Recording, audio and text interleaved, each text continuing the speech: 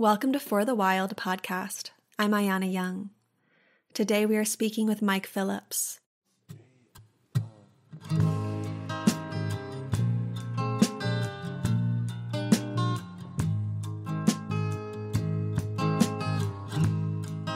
I, I came to wonder if, if all these many years, these decades, these centuries, Mother Earth has been calling to us, hoping for us to respond by affirming her importance, hoping for us to respond by rising up in defense of the defenseless parts of nature.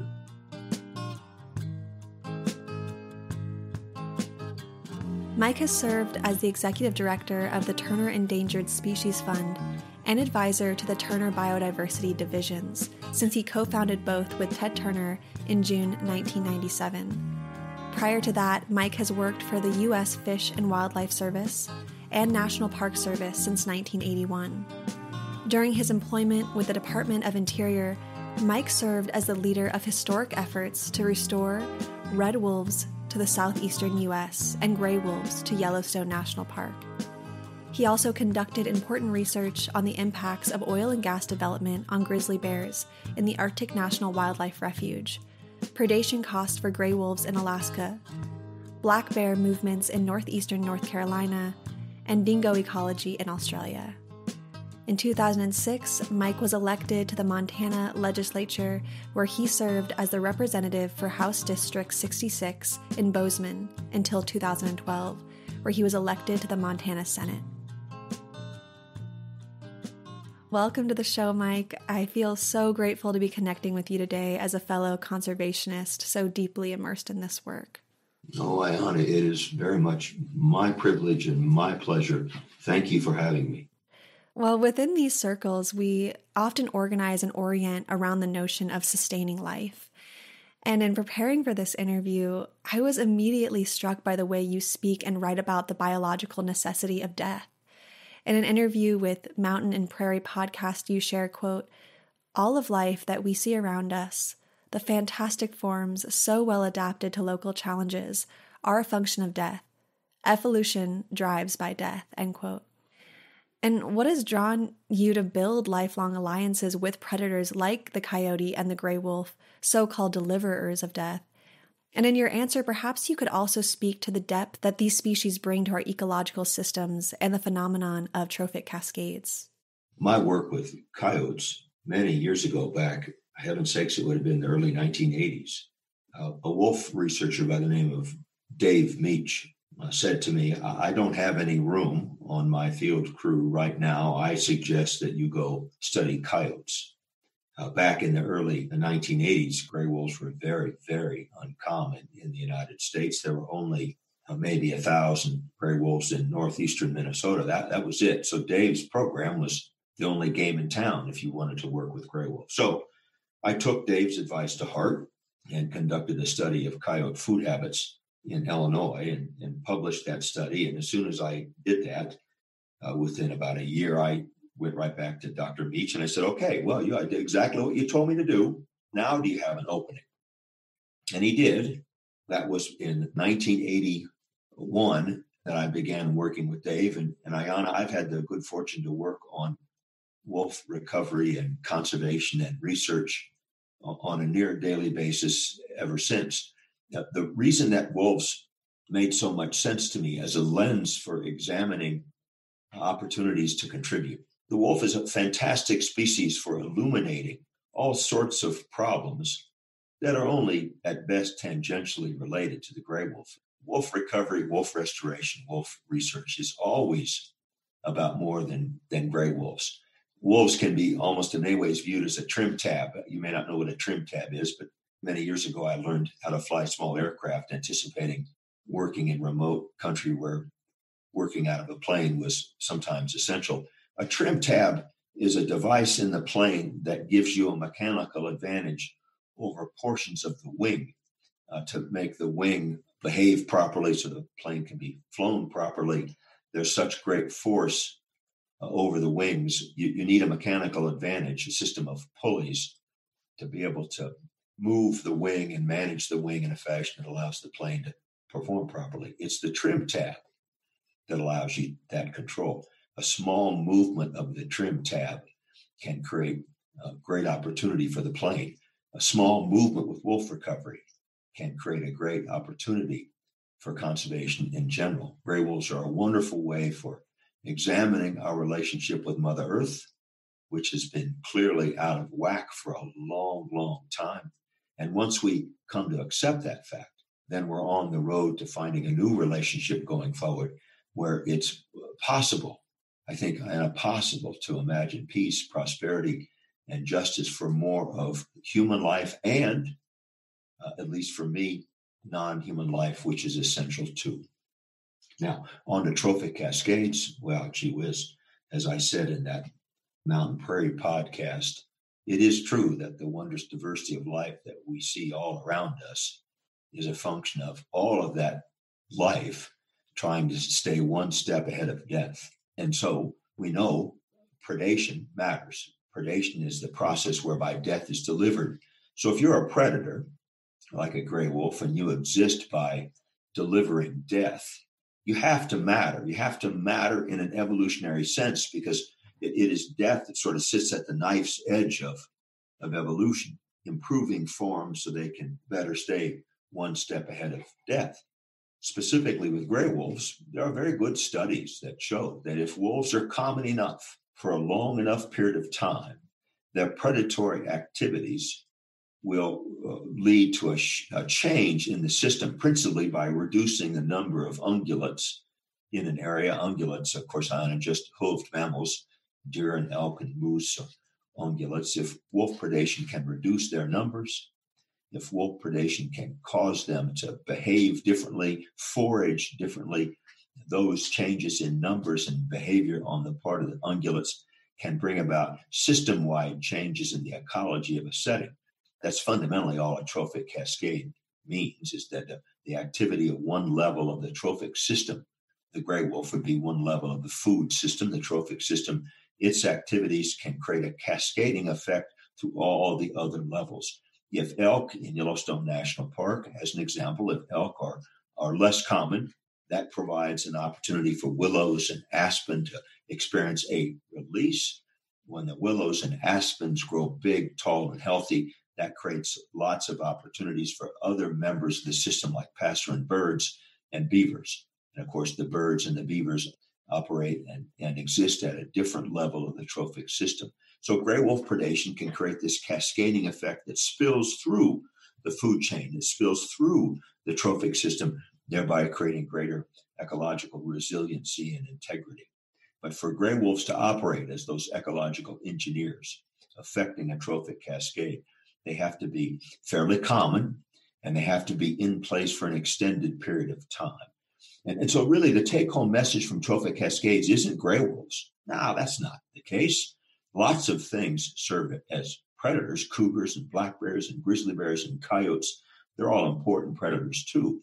The important part of a trophic cascade that we should touch on today is predation. Predation delivered by all of these species that make a living by killing things. Mm-hmm. Oh, thank you, Mike, for explaining trophic cascades so beautifully. I could imagine the ecosystem well, as simply. you spoke. simply, Sim- simply. that's the that's the best way for me to view things. It's simple, mm-hmm. and systems are exceedingly complicated, but the fundamentals are are pretty simple. Mm-hmm. If life matters, then death matters. If mm-hmm. prey matter, then predators matter. It really is just that simple. Mm. I'd like to dive into the conservation and restoration work you've done over the years with gray wolves, particularly within the greater Yellowstone ecosystem.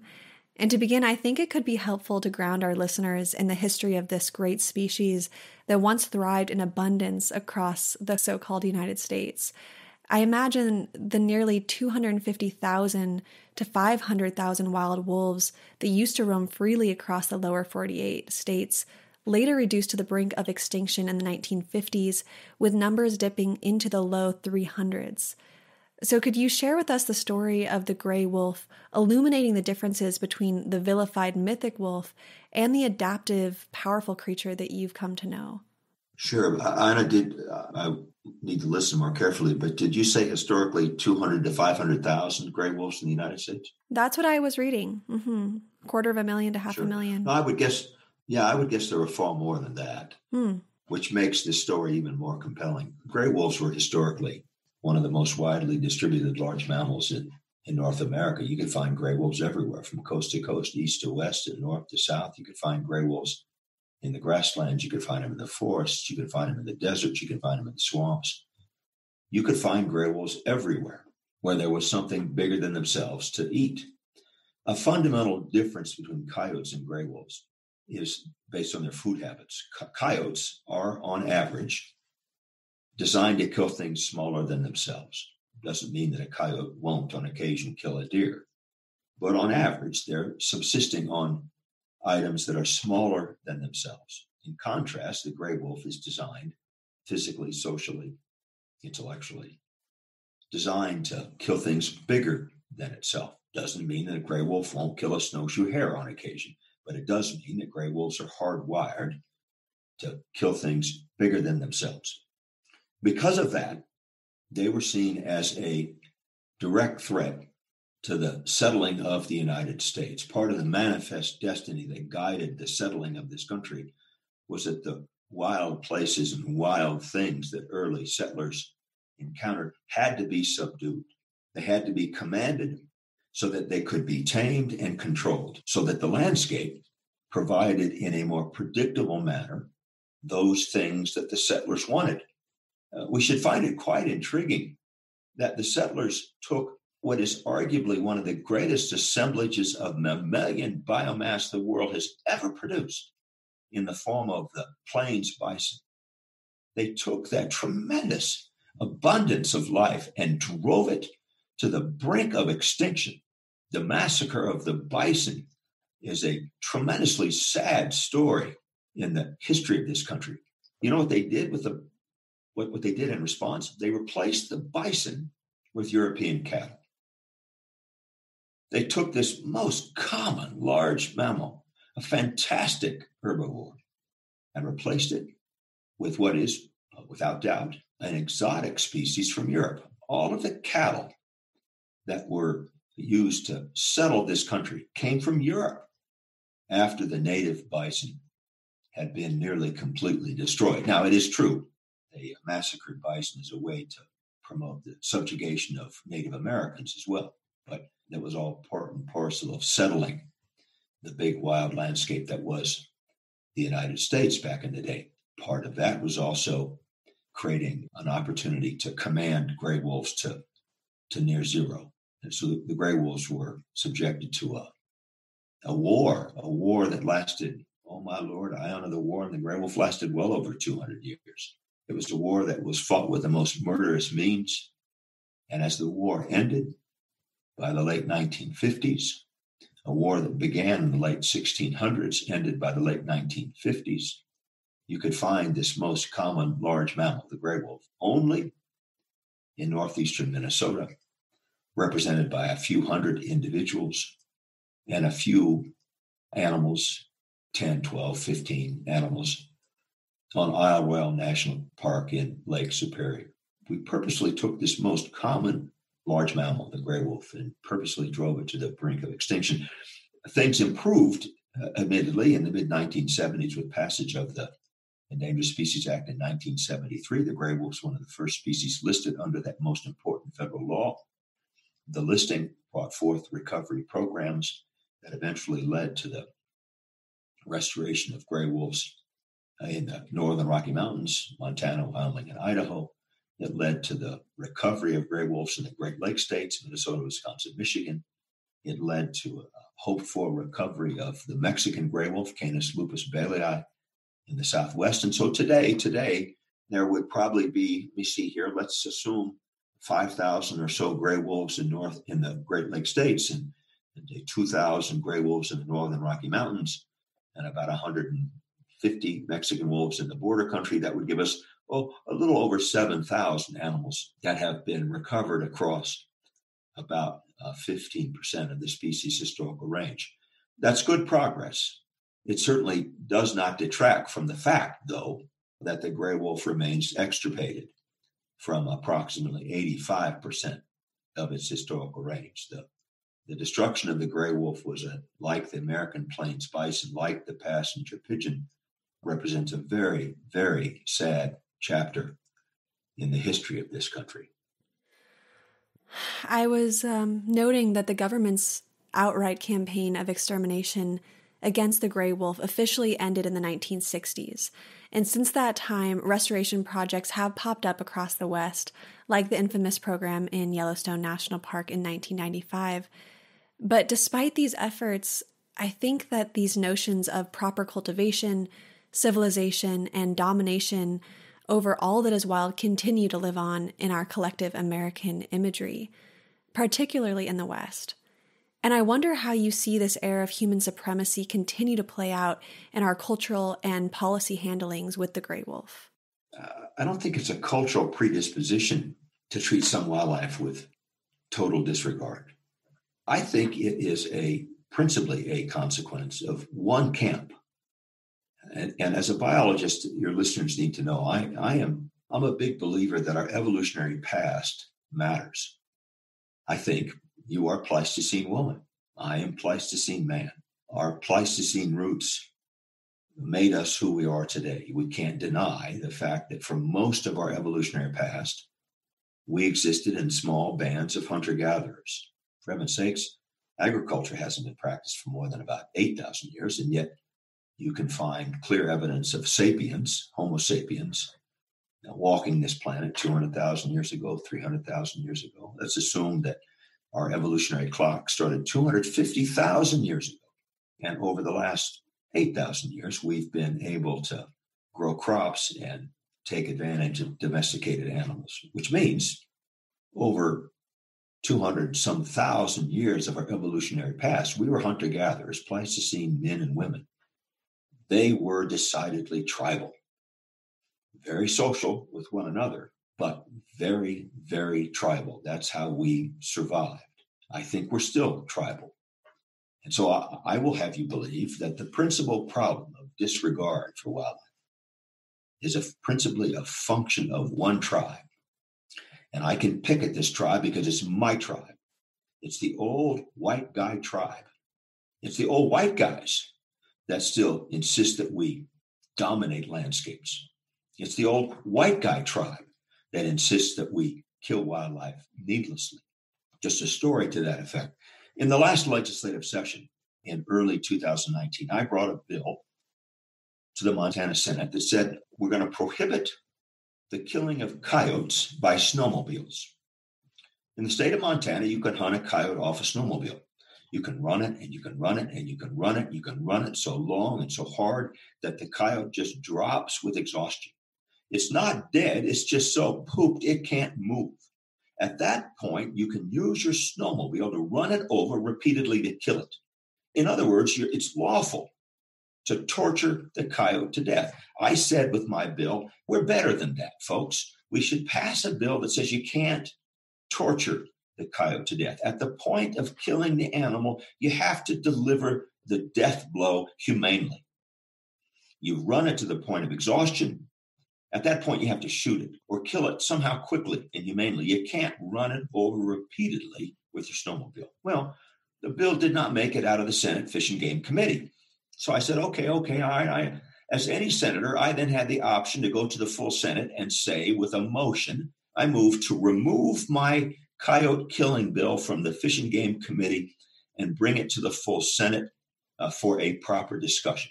So when it got stuck in committee, I was going to blast my bill from the committee for consideration by the full Senate.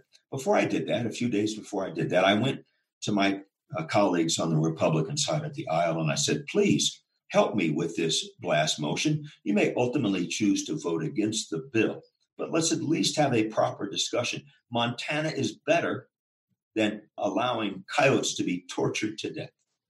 So I stand up two days later on the Senate floor and I say, uh, Mr. Chairman, I move to remove uh, Senate Bill 212 from the Senate Fish and Game Committee and bring it before the full Senate for consideration. Thank you, Mr. Chairman. As is the habit, then the chairman says, Senator Phillips, and I have a moment or two to speak on the rationale of my blast motion. So I said to the, my colleagues in the Senate, I said, members of the Senate, this is an important bill. We should consider it as a full body. Uh, as you consider that, note that if we knew, if we knew of a of a 12 year old boy in our neighborhoods that was uh, using his bicycle to run over the local cat, uh, we would be deeply concerned for that young boy's mental health. This is no different than that. Please vote for this blast motion so we can properly consider this bill. At that point, Ayana, we voted, and my blast motion failed on a party line vote. 18 Democrats, myself and my 17 colleagues voted yes. 32 Republicans voted no. I was deeply embarrassed by that vote. I had served with many of these people for 14 years. I knew them. I considered them colleagues. I considered some friends. I was asking something very simple let's not torture coyotes to death. And they, they said no, they wouldn't even they wouldn't even join me to stand up and at least have a discussion. Ayana, at that point, at that point, I, I could no longer pray with them.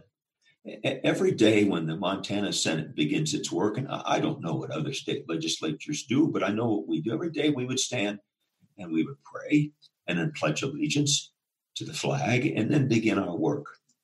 From that day forward, at the beginning of any session, I would step out into the anteroom and I would stand quietly and uh, wait for the prayer to end.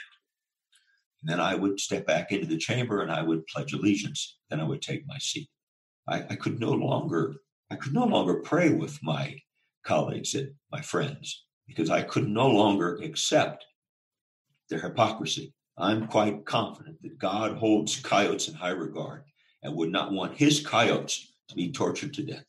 It's the old white guy tribe uh, that, that continues to get in the way because we have this gross inability to accommodate wild and self willed nature. Oh my goodness, Mike. Your story touched me so much. And oh, I just am taking a moment to let your response sit. And I want to tell you in this moment that I am so grateful for you and I respect you so much for your courage and your convictions. You're really such a unique person. and I think a lot about this typical American Western identity, or as you put it, this white man tribe identity. And you know, it's as one that has been forged around a shared sense of pride and wilderness and outdoorsmanship and a settler mentality of conquest and rugged individualism. And I feel a sense of hollowness around this profession of belonging and ownership. The grizzly bear that remains at the center of the California flag, but only in its symbolic form. As this species has vanished from our forested landscapes, our mountains, our waters, and these creatures remain at the center of our collective mythology, but they're simultaneously revered and hated. And just listening to your your stories and and how you are connected so deeply to the land and these creatures, it gives me pause. And I just want to say thank you before we continue well, on. Yeah, you're welcome. I wish I was more effective, uh, but I learned a long time ago I can't be responsible for other people's decisions. I can barely figure out how to make my own decisions. Hmm. and I, I, will say that we sometimes celebrate wildness and symbols only, the grizzly bear and the California flag, in part because we're increasingly living in a world of ecological illiterates. People don't understand that everything that we need, and when you cut it deep enough, Everybody needs food, cover, water, space. Uh, all, all living organisms in one form or fashion need food, cover, water, space. Most people today, 99.999% of the people today, buy what they need. You buy food, cover, water, space. There's not enough subsistence hunters left in the world to matter in a numerical sense. Everybody's buying food, cover, water, space. So the marketplace really matters. And yet, we place so much emphasis on the marketplace that we forget that it sits on landscapes the world over. Absent healthy landscapes the world over, marketplaces struggle. If marketplaces struggle, all of those of us who buy our food, cover, water, space have no choice but to struggle too. We are burdened with ecological illiteracy. I'm on with you today because I think these types of podcasts can promote literacy. And I think from uh, the perspective of living in greater harmony with one another and Mother Earth, we need to be more literate.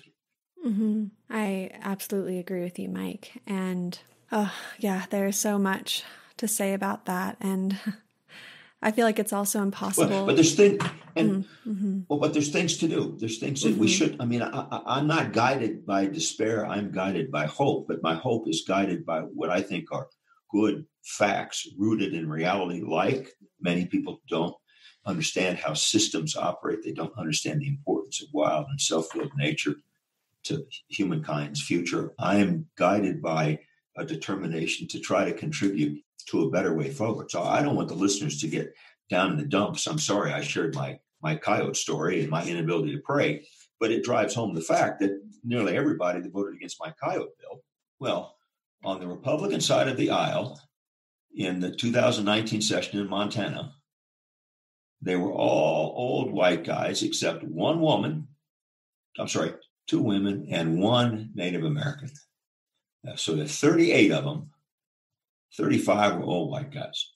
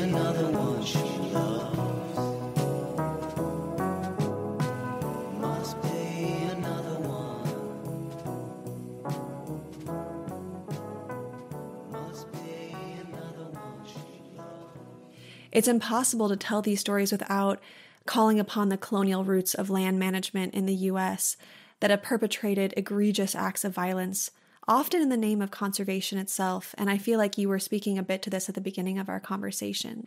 The wars waged against gray wolf, the grizzly, the coyote, the buffalo have also been wars against the indigenous peoples that have actively tended the lands and waters of Turtle Island since the beginning of time. In what is now Yellowstone National Park, for example, the U.S. Army was stationed from 1886 to 1918 and forcibly displaced the Ah-Wah-Neechi from their tribal homelands. This logic of extermination that sought to sever the sacred bonds of life in these places paved the way for the construction of untouched quote unquote wilderness for the exclusive use of recreation, mass tourism, and resource extraction. So, do you see Indigenous sovereignty as an important thread to weave into a new model of conservation? And how can these lineages of violence inform how we go about protecting spaces in the future? Well, certainly, I agree that Indigenous sovereignty matters. That sovereignty has to matter, or nations all across the planet don't have sufficient standing. In our own small way at, Team Turner, we're working to promote, for example, bison restoration on tribal lands throughout the United States as a celebration of the tribe's sovereignty, or create a future of their own making. And ideally, that future would include plains bison as a fixed feature on their landscapes. How does that translate into more open lands conservation? If that was your question, I, am not sure. I'm not sure. I think that that large scale changes changes that operate at sufficient scale to matter have to be affected through a political process. As, as much as I regret my ineffectiveness as a politician, I uh, have thought long and hard about the great collective endeavor that is politics in the United States and, and accepting for the marketplace.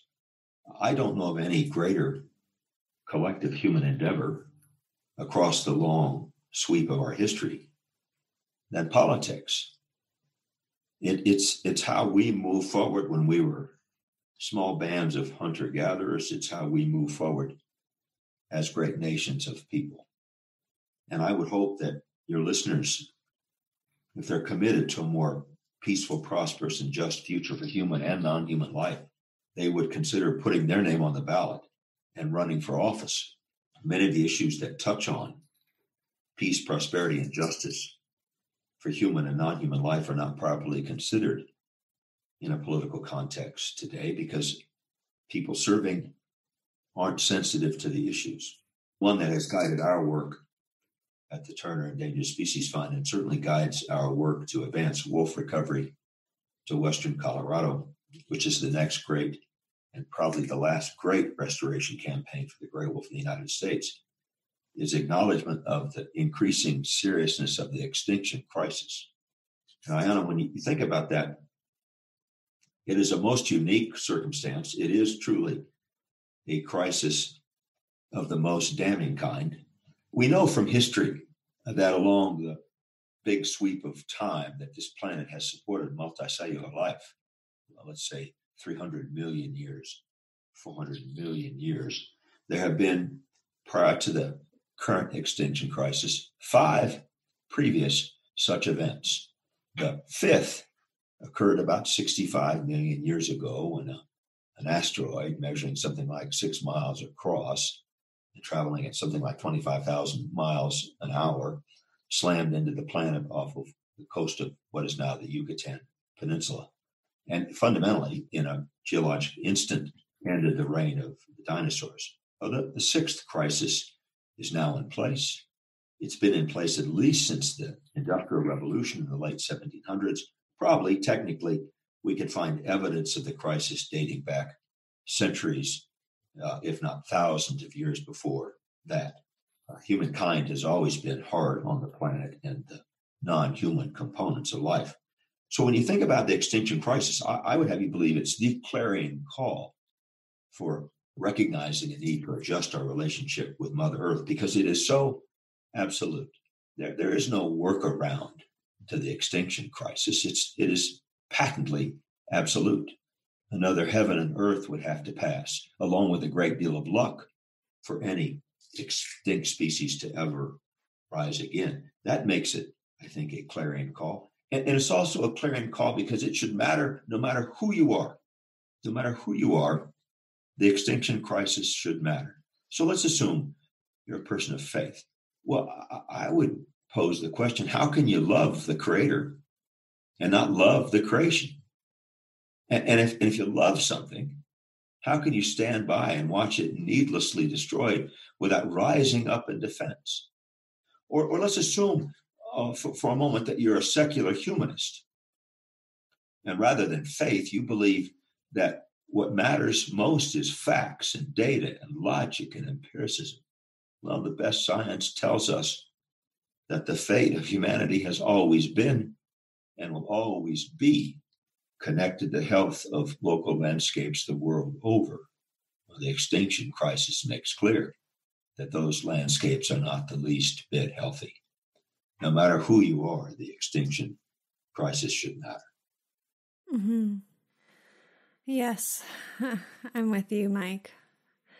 I'd also be curious to hear about your thoughts around a future of coexistence with gray wolves and I know this can be an incredibly polarizing issue, especially on the front lines of reintroduction projects where people have competing visions of land use, whether towards conservation, hunting, or livestock production. And as an advocate for the gray wolf within this highly debated arena, how do you present the case of restoration to people who perhaps feel fearful or in defense of their safety and livelihood? And what is needed to ultimately reconcile these differences?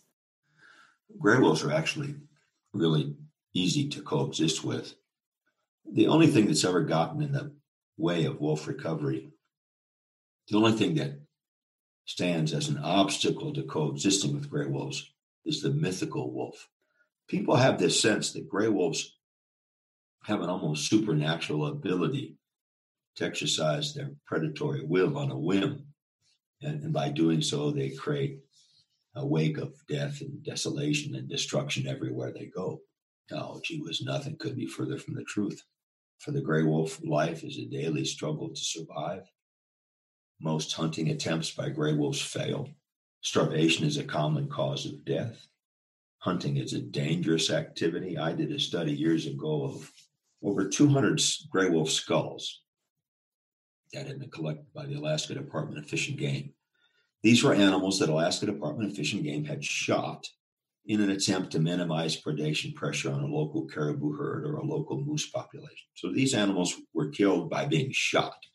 I looked at their skulls for evidence of blunt force trauma. How often did they get kicked in the head by a moose, for example? Fully a quarter of the skull showed a broken jaw, broken nose, broken skull. A good friend of mine, Rolf Peterson, Dr. Peterson from Michigan Technological University in Houghton, Michigan, has studied gray wolves on Isle Royale National Park since 1972. Rolf has never done a necropsy of a gray wolf. Necropsy is just an autopsy of an animal.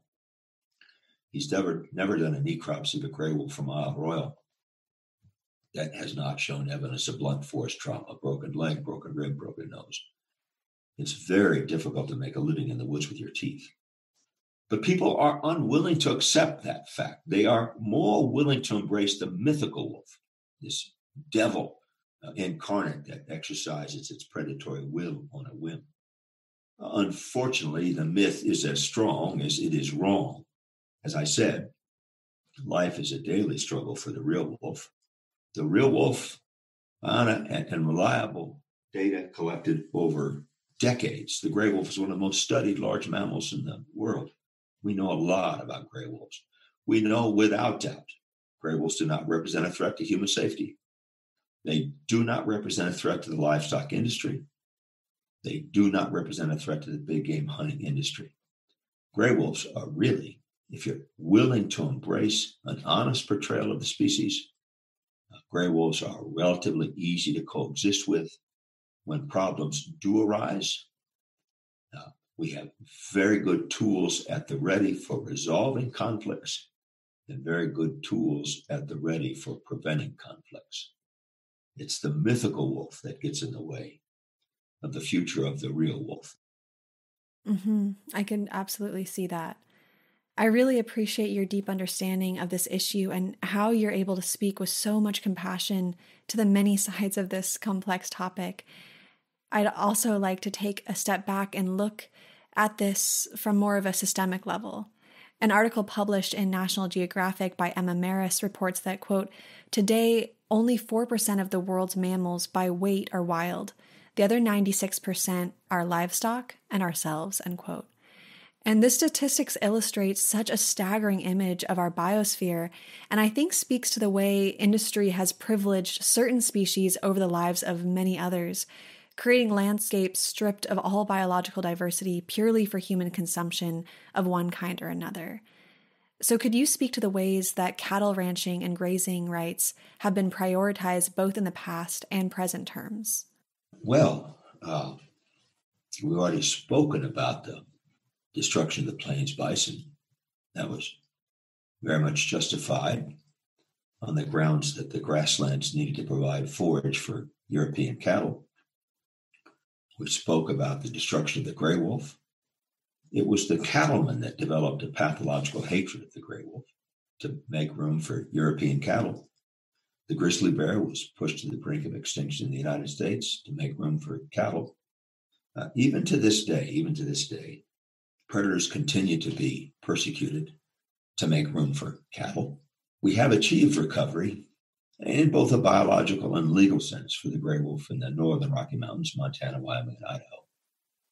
But we continue to persecute them with a great deal of determination. In, in Montana, as an example, uh, there may be oh, eight or 900 gray wolves that live in the western quarter of our great state. Every year, eight or 900 animals. In an average year, oh, gee whiz, uh, up to 300 of those animals are killed. I, I saw some data recently that indicated the average age of a gray wolf in Montana, outside of highly protected areas like Yellowstone Park, the average age of a gray wolf is about three years. My Lord, three years is nothing. A gray wolf, if left to her own devices and not killed by people, would live to be eight or nine or maybe 10. You know, they don't live for that long, but they certainly have capacity to live longer than three years. The biggest hurdle to wolf recovery in Western Colorado, and when people think about it, it is tremendous opportunity. Western Colorado is God's gift to gray wolves. Over 17 million acres of federal public lands across which gray wolves will receive priority consideration. A robust prey population consisting of deer and elk, unlike anything in the world. Anything in the world. Reliable studies clearly indicate Western Colorado could support a viable population of gray wolves. That population is mandated. The existence of that population is mandated by the Federal Endangered Species Act it's also mandated in a softer fashion, but nonetheless mandated by state law. And yet it's principally the livestock industry that stands in opposition because they just can't imagine how their operations could be conducted in wolf country, even though many of their operations are based on federal public lands and they're already heavily subsidized to use those lands. We, we don't charge public land ranchers an amount of money for the grass that their livestock consumes that's actually equal to what that grass is worth. We, we as a country have said, oh, we're not going to charge you what the grass is worth because we recognize ranching in remote western rangelands owned by the federal government. That's a tough business. That's a risky proposition. So we're gonna we're gonna help by charging you a fraction of what that grass is actually worth. And still, that helping hand is not enough. It's not enough. They would rather the landscapes be wolfless. They, they don't want another challenge, even though we know from reliable studies conducted over decades that it's the atypical wolf that depredates on livestock. We know that in the northern Rocky Mountains, nearly 100% of the livestock that would call Montana home, nearly 100%, 99.995% of those livestock will never be involved in a wolf depredation. The depredations are so uncommon to be of little interest to the industry. Now, if you're the rancher who lost a cow last night, you've got a problem, and I readily acknowledge that. But as I said, fortunately, we've got good tools at the ready for resolving such conflicts when they do occur. Very good tools at the ready for preventing such conflicts from ever occurring in the first place. You know, we can put an astronaut on the moon and bring her home. We can take your heart out of your chest and put it back better than before. I promise you we can coexist with the gray wolf. But the livestock industry stands in sharp opposition. So we continue to bow down to the great hamburger. oh, Mike, I really appreciate those metaphors. I'm wondering as we wrap up this part of the conversation around gray wolves, I'd be curious to hear about what kind of future path you envision for gray wolf reintroduction and any updates surrounding your partnership with Rocky Mountain Wolf Project in Western Colorado. Yes, and, thank you. Yeah, thank you. Of course. Yeah, the, the, the folks need to know there's this tremendous effort brewing to restore gray wolves to Western Colorado. It's been underway for many years. It is now very muscular, very capable. It is predisposed to succeed. It's it's represented by two organizations that have related but different uh, roles. The first organization is Rocky Mountain Wolf Project. The website is just RockyMountainWolfProject.org. The project is a coalition of conservation visionaries and conservation organizations that believe that if Coloradans simply embraced an honest portrayal of the gray wolf, they would conclude that coexisting with the species is a straightforward affair that requires only a modicum of accommodation. That conclusion, of course, advances restoration. But by itself, that conclusion is probably not enough to affect change.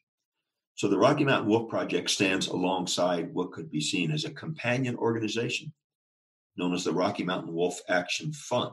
That website is just www.wolfactionfund.com. The Rocky Mountain Wolf Action Fund is a political organization. It's not a coalition. It is a lean, mean, fighting political machine that aims to allow Coloradans to decide if the wolf has a future across the great public wildlands of western Colorado by vote. The Action Fund intends to place a wolf restoration initiative on the 2020 general election ballot and let Coloradans decide by November of 2020 whether the wolf should be a part of the state's great future. The uh, project has done well educating, drawing attention to the real wolf. The Action Fund has done well advancing the political campaign to give Coloradans a chance to vote. Now, listeners might say, well, that's great for Colorado, but what does that have to do with me? Well, really, the Wolf Action Fund is launching a national campaign to use direct democracy to elect the wolf to restore the wolf. And the reason it's a national campaign is that the, the gray wolf, Canis lupus, remains fully protected under federal law. Consequently, Americans all over the country have the right, uh, some would say the responsibility, to concern themselves with the future of the gray wolf in places like Western Colorado.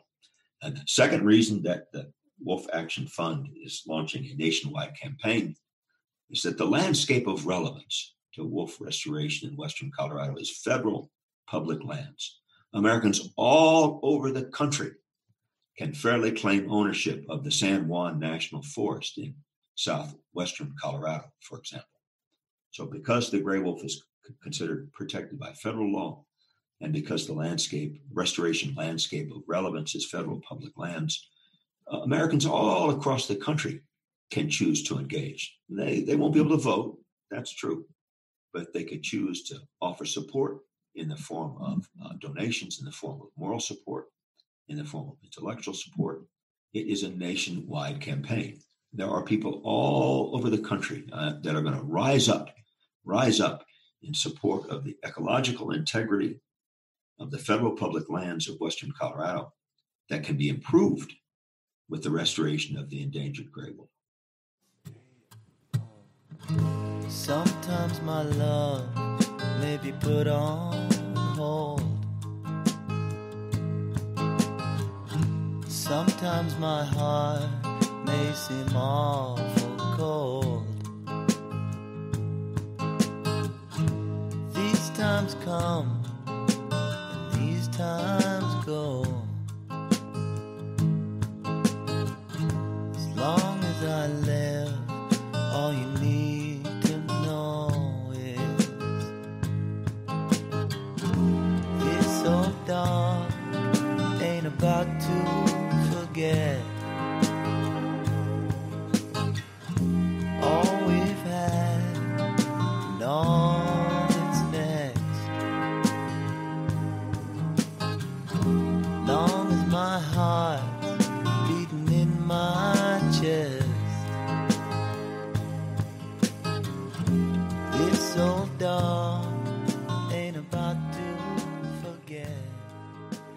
Now, Mike, faced with a constant deluge of shocking reports and articles, I think it can be easy to numb ourselves to all of the loss that we're facing on a planetary scale at this time. And that said, I want to take a moment to name the current extinction crisis and voice the gravity of living in this time of the Anthropocene. I'll read a short passage from The Song of the Dodo, a beautiful and tragic book by David Quammen. Quote, the song of the dodo, if it had one, is forever unknowable because no human from whom we have testimony ever took the trouble to sit in the Mauritian forest and listen. End quote. And I could ask you to recount more scientific data or name the species that sit atop the endangered species list, but I'd really like to ask you, as someone who has their heart and hands on the ground, what are you listening to right now? And what messages from the non human realm are emerging in the stillness? And maybe a second part of that question is what brings you energy to continue on in the struggle and fight to make spaces for these species in our human centered world? Well, first, let me say thank you for reading from Song of the Dodo. David Quammen is a good pal of mine. He uh, lives down the street from me, and I hold David in very high regard. Song of the Dodo is a fantastic and important book. So thank you for drawing attention to it. You said, What am I listening to? I assume that you mean in the form of a podcast or but well I, I actually meant what are you listening to in in the stillness of uh, well, that was uh, in the non-human. Oh, oh, great. Okay. Yeah, mostly I, I, try to sit and and listen to the natural world. I, I don't I don't find much satisfaction in TV uh, movies. I, I, I pretty much just watch things that are funny, or at least things that aim to be funny. I, I think laughter is important. Uh, I think being able to see ourselves in a realistic light and not take ourselves too terribly seriously is important for plowing ahead. And uh, I, I enjoy music, but I really enjoy sitting quietly and and listening to just the sounds of nature. One of the most important things that me and my family do at certain times of the year. The Flying D Ranch is just about 25 minutes from our home here in Bozeman, and we'll go out to the Flying D Ranch. It supported the Bear Trap Pack of Wolves since about 2003. The Bear Trap Pack of Wolves is uh, one of the largest packs of wolves in North America, consistently about 20 animals strong. We know a lot about the Bear Trap Pack, and we know where they den and we know where they raise their puppies. And so we can go out in July and August and September and sit on the hillside. And inevitably, if we're patient, as day gives way to the evening, they'll howl. And I, I am just always moved. I like seeing gray wolves. That's fun. That's cool. But boy, oh boy, I really like hearing them howl. It's one of the great sounds of wild and self-willed nature, like the call of a loon or or a bugling elk. Some sounds just affirm that Mother Nature got it right without much help, if any, from us so very long ago. We are and have been for a long time a big ecological disaster, we being humanity, because we have such a rapacious appetite for dominating and, and consuming things. So I, I, certainly like to sit quietly and listen to nature, and it can be in my backyard. It doesn't have to be out on the Flying D Ranch. But uh, in terms of listening, a, a, little story that your listeners might enjoy. Uh, uh, two years ago, me and my family were honored to be able to camp for a long weekend on on Peale Island. Peale Island is this tiny uh, sort of dot of isolation and magic in the southern part of Yellowstone Lake. First day out, is the setting sun was giving way to a rising moon, we heard the howl of a of a lone wolf. It was a she howled. I, I, I, don't know the gender necessarily, but it's my story, and so I wouldn't believe it was a female, and so I'm going to say she howled. She howled all night long. It that never was a response, which I found intriguing. It's hard to be a gray wolf under the best of circumstances. It's especially hard to be a, a lone wolf. It was clear to me she was searching for some kind of companionship. More than once, I crawled out of my tent, my sleeping bag, and howled back. I, I've howled at a lot of gray wolves in my day, but on that particular night, it just didn't seem to be the thing to do. So I stayed in my tent, I stayed in my sleeping bag, and I listened and I reflected. And, and as I did, you know, I, I came to wonder if, if all these many years, these decades, these centuries, Mother Earth has been howling to us, hoping for us to respond by affirming her importance, hoping for us to respond by rising up in defense of the defenseless parts of nature as I as I laid there and thought about that, as is my habit, my thoughts then drifted from conservation science to politics, and I was reminded of some very important words that were uttered by Congressman John Lewis. Congressman Lewis was a contemporary of Martin Luther King and was an important senior cardinal figure in the civil rights movement. At one point, as Congressman Lewis was fighting for the rights of the oppressed, he uttered words that now have as much meaning to the non human world as they did back in the day when Lewis was fighting for the rights of people. And he said quite simply, if not us, then who? If not now, then when? And so when you ask me what I'm listening to, what I think about, I think about rising up now, using my time to rise up and do what I can to fight for those among us that are unable to defend themselves. Mm. Thank you, Mike, for sharing that story. And I feel very aligned with that. One of the challenges we ask ourselves daily at For the Wild is how we can help our listeners become more active participants and resilient earth defenders. We're constantly orienting and reorienting within this question to try and figure out how we can bridge a connection of caring to what might otherwise feel like distant lands or distant problems. As such a fierce advocate for imperiled species and a public servant, I'd like to turn this question back to you. How have you sought to inspire your constituents to care differently and tune into the multiplicity of beyond human worlds that turn alongside our own human experience? And how do you feel like people can continue or just begin to be more active participants and earth defenders? I think the problems are now so systemic that nothing less than a grand systemic solution will suffice. And I know of only two encompassing activities that could bring about the types of systemic solutions that will make planet a more peaceful, prosperous, and just place for human and non-human life. And, and the one that matters here today is politics. Uh, I'm proud to have served in elected office. I still sit in my state senate seat. I'll hold that seat to the end of 2020 when I'll be term limited. That will end 14 years of service as a state legislator, I'm proud. I don't see politics as a problem. I see politics as an important part of the solution of moving us as a collective forward to a better place. So I would say to the listeners, become more involved in the political process. Insist that candidates are aware of the extinction crisis. They're, they're aware of the climate change crisis, that they're aware of the pressing need for a new energy future, that they're aware of the fact that the fate of humanity has always rested on the health of local landscapes.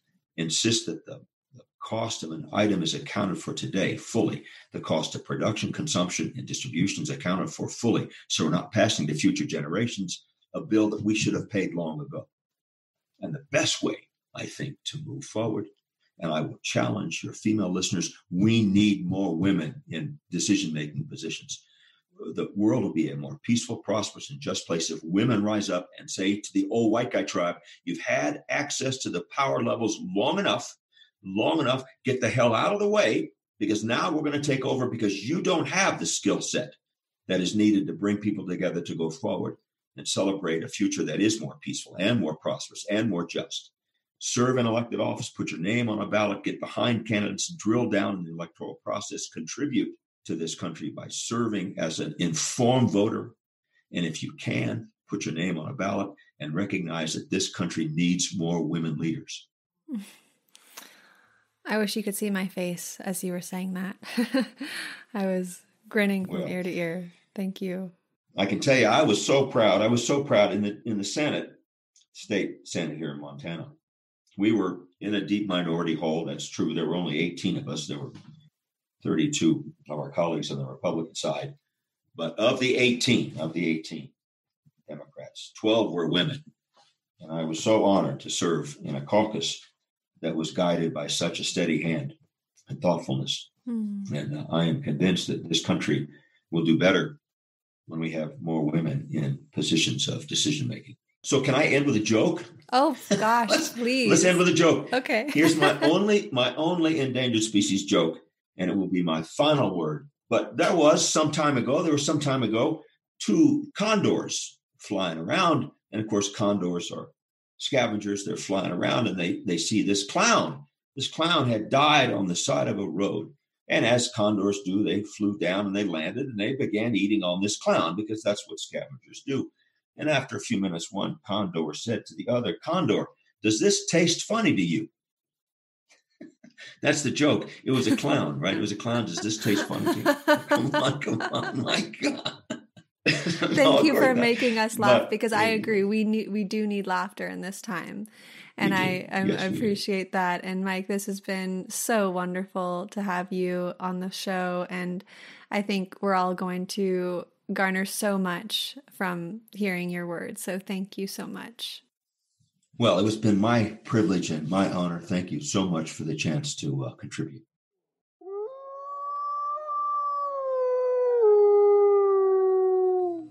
Thank you for listening to another episode of For the Wild podcast. I'm Ayana Young.